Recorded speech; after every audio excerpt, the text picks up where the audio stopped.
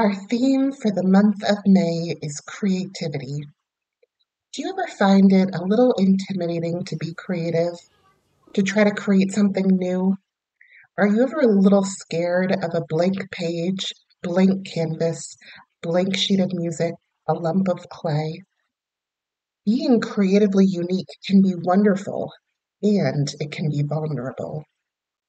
Yes, there is joy, beauty, and play in creativity, but there is also insecurity, loneliness, and self doubt as well.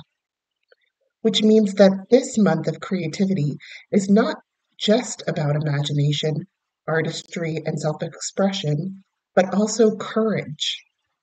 Putting something new into the world takes bravery. Do you remember way back in October when our theme was courage? One of the things we discovered was that we could be braver if we did things together. The same is true for the courage to be creative.